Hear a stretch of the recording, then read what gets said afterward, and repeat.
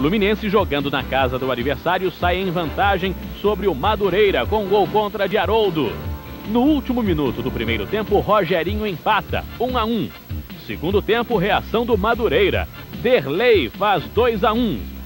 Rony salva o Fluminense de uma derrota com um belo gol. Final Madureira 2, Fluminense também 2.